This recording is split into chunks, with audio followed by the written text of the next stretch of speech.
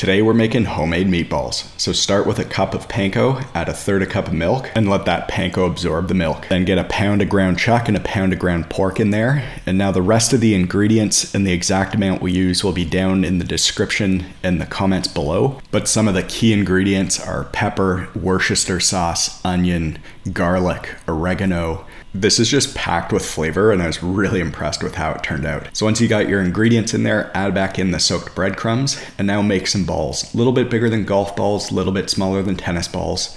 Then set your smoker to 320, add in your water pan for moisture, and then pull these out when they hit an internal temp of 120 Fahrenheit. Add them to a cast iron pan, pour over top of that some marinara, and add a bunch of chunks of buffalo mozzarella. Put it back in the smoker and pull at 160. Add on a little extra shaved Parmesan, even a little extra cheese there at the end. This was hands down one of the top five cooks I've ever made.